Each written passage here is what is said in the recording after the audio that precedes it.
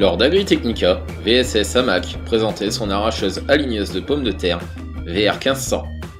Cette machine semi-portée dispose de son propre système hydraulique.